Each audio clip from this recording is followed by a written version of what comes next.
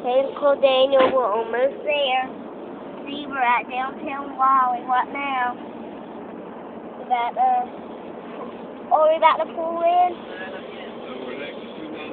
We're exit. We're at exit 295 and we're going to 287. And I can't wait to see you. Love you. Bye.